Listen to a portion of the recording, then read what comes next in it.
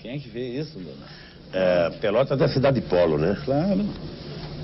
Exportadora de viado. 320 mil habitantes. Tudo nu. Quem é que vê isso, Luna? É, Pelotas é cidade polo, né? Claro.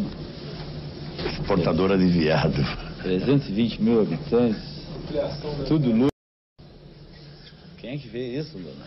É, Pelotas é cidade polo, né? Claro. Exportadora de viado. 320 mil habitantes. Tudo nu.